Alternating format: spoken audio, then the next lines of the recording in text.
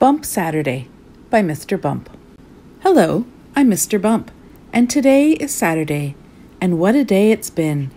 Now, you know why I'm called Mr. Bump, don't you? It's because I keep on having little accidents. But they are not my fault. Really, they just happen.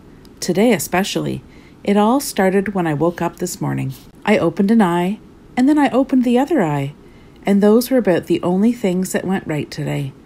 The sun was shining in through the bedroom window.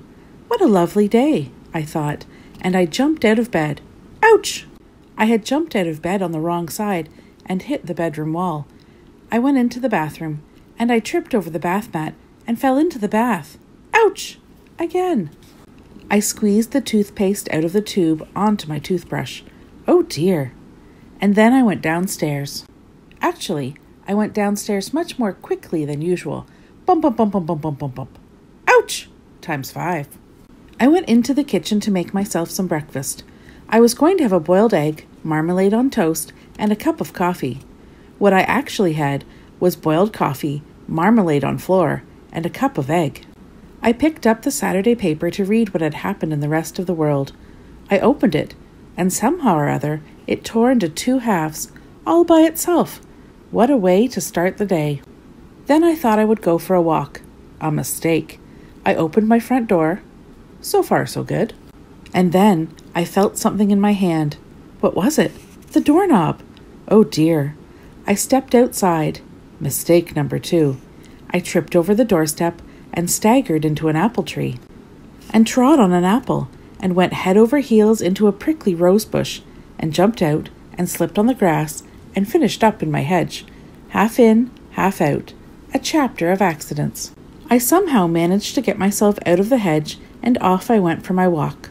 Mistake number three. I saw Mr. Silly, Mr. Greedy, and Mr. Nosey playing football in the park. Hello, they shouted to me. Come and play. I rushed up and took a kick at the ball. A really big kick. Mistake number four. Ouch! shouted Mr. Silly as I kicked him on the shin. I tried again. Ouch! gasped Mr. Greedy, holding his tummy. One more try. A really good try. Ooh, yelped Mr. Nosey, holding his nose. Today had been a very long Saturday. Here a bump, there a bump, everywhere a bump bump. I even managed to trip over poor little Mr. Small, a chapter of accidents. After apologizing to Mr. Small, I thought I had better go home before anything else happened. I couldn't open the door because it didn't have a doorknob, so I had to climb in through the window. By this time, I had lost count of the mistakes I had made, but that was certainly one of them. After I had swept up the broken flower pot, I thought I had better have supper and an early bedtime before anything else went wrong.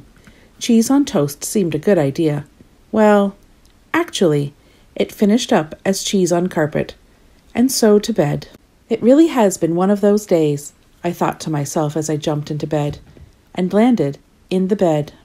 The flower bed Somehow or other, I had jumped out of the window. So here I am, sitting in a flower bed, looking at the moon, and thinking what a day today has turned out to be. Just one accident after another. A chapter of accidents. Bump Saturday. One of these days, I'm going to write a book about it.